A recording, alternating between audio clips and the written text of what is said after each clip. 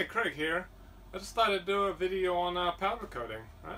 Okay, I'm going to be powder coating these three steel cover plates here. I'm actually going to be doing each one a different color, and I'm going to do them all at the same time. Alright, well, the first thing I need to do is uh, sandblast them, so let me uh, put them in sandblaster. Okay, I got them all sandblasted. I basically took all the, the shine off of them. Uh, because the shine won't uh, won't allow the powder coat to adhere well. So I got that all sandblasted. Now I'm just gonna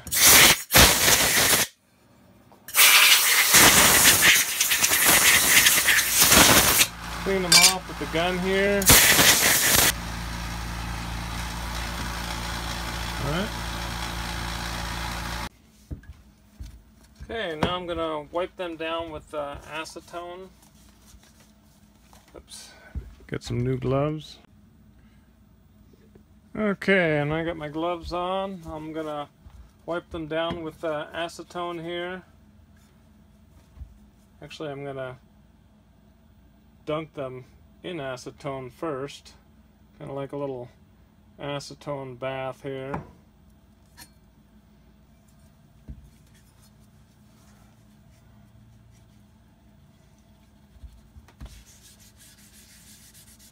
Yeah, clean them down good here.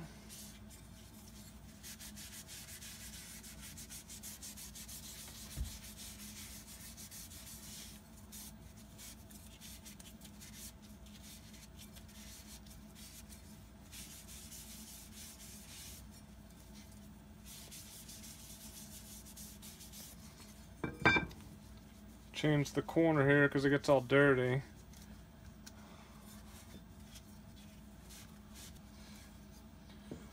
Alright, now I will uh, preheat the oven, the powder coat oven, so I can uh, preheat these parts.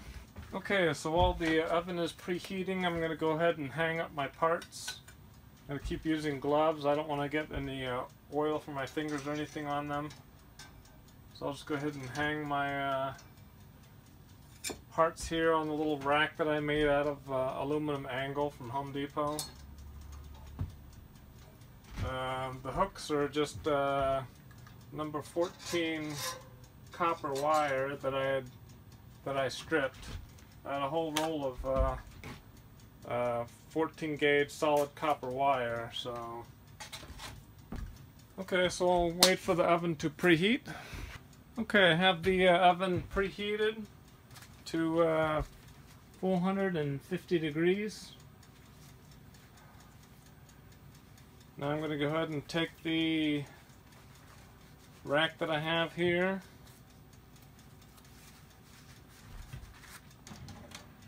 and pop it in the oven.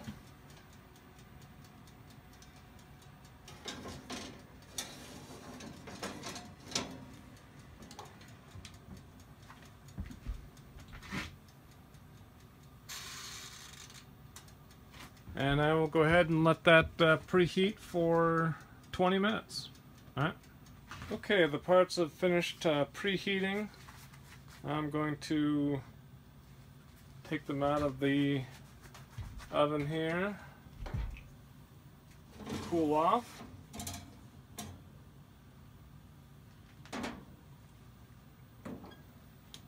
Alright. Okay, the parts have finished cooling off and I've brought them back over here to wash them again. Um, I noticed that some of them actually, actually all of them changed colors. Uh, one's a little bit brown, some of them actually turned a little kind of purplish color. Not sure why, but um, I'm going to go ahead and clean them again. With acetone.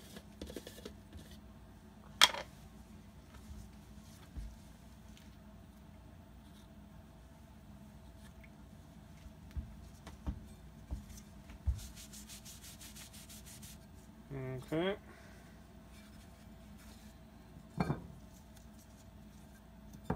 Okay, I have the oven preheating again uh, for the actual curing. Uh, Alright, as I said before, I'm going to be doing this in uh, three separate colors. I actually have uh, three separate guns over here, one for each color. So I'm going to start off with with black.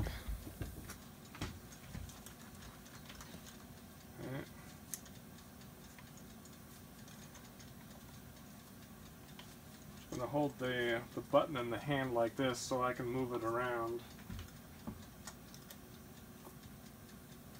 Yeah, I haven't I haven't run this yet, so I gotta. Okay. All right.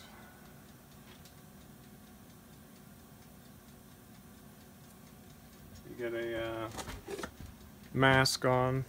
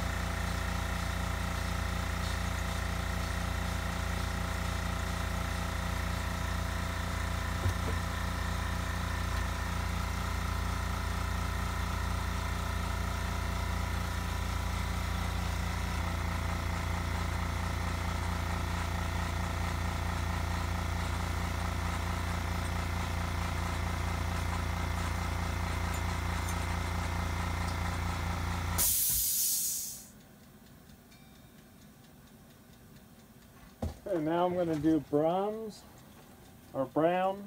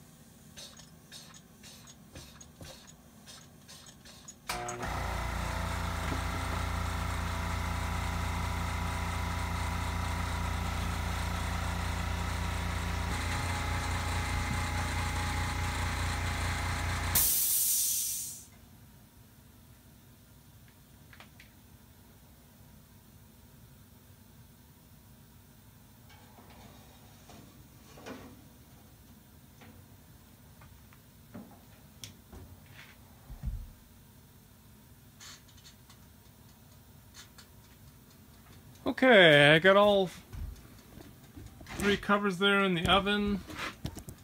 Uh, I've set it for five minutes. I'm going to come back and check to see if it's uh, flowed out or has basically melted. Uh, at which point, then I will reduce it down. I'm at 450 right now. Then I'll reduce it down to 400 and uh, bake it for uh, 20 minutes. Okay, well this is the while this is uh, uh, heating up. Um, this is actually the first time I actually had the, a steel turn uh, brownish and purplish on there. The steel I'm actually using is what Home Depot calls uh, plain steel. Uh, this is uh, 16 gauge. Uh, what I've been using on other things is uh, this is a cold roll. I don't know exactly what they're plain. It looks like cold rolled when you look at it, but um, what I'm usually what I usually use is a, a cold rolled uh, from Metal Depot. So I'm not sure what the deal is with that. Yeah, check to see if we have flow out here. Okay, well it all looks pretty shiny, so I think I have flow out. So I'm going to set it for 20 minutes. And reduce the temperature down to 400. Okay, while I'm waiting for that to cure, I thought I'd uh, go over uh, or show you my setup over here. It's kind of a mess over here, and I'm trying to keep all the wires and stuff straight here, but um, basically I have a small air compressor that I bought a while ago, I have it regulated down to, uh, I believe it's like 10 pounds. And I basically just have all the grounds from those right up to a wire that's hanging from the ceiling. And then I just have these hooks and I just hook them on there so that gives me my ground there so. Okay well the problem that I was having before or still having um, is uh, I guess what they call pitting? Um, if you look at it like this I mean it looks pretty good you know but if you get up closer you can see these little you see that little spot right there. And there's some over there, right there.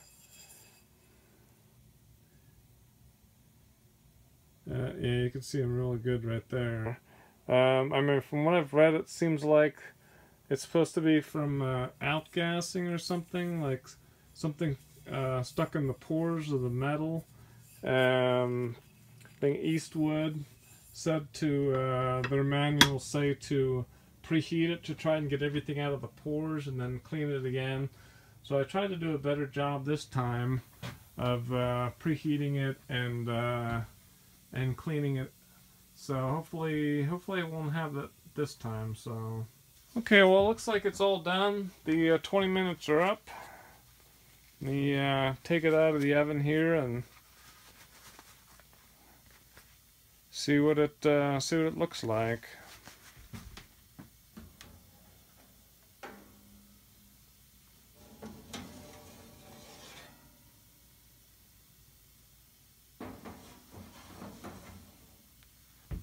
Won't be able to completely tell until it cools down and I can actually handle it, you know, but let's uh, see what see what I can see from here.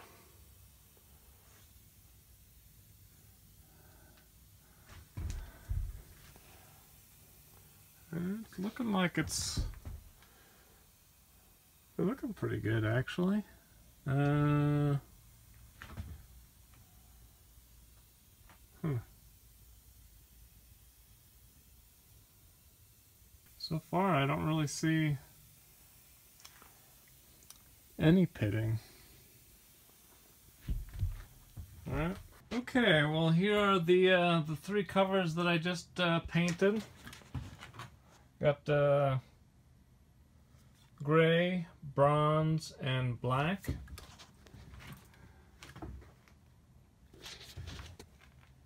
And from the looks of it, they seem to turn out pretty good. There's a few spots right there. I mean, magnified up with the phone. Um,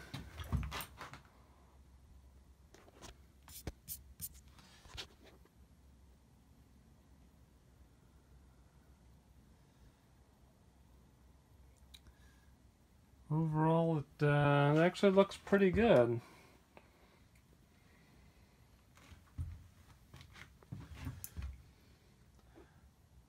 Um, these are uh, uh, covers, so I mean, if this was for you know something else, I would probably be a little more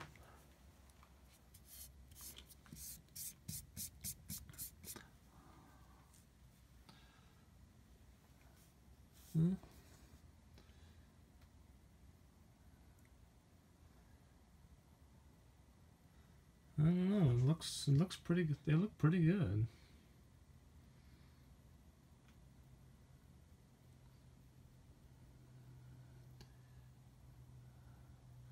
Definitely, uh, I think they're gonna be far more than enough than what these are actually. These are just uh, covers, um, electrical covers.